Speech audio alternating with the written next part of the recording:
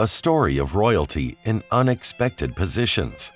The king's son chooses a wife, but his father rejects his choice.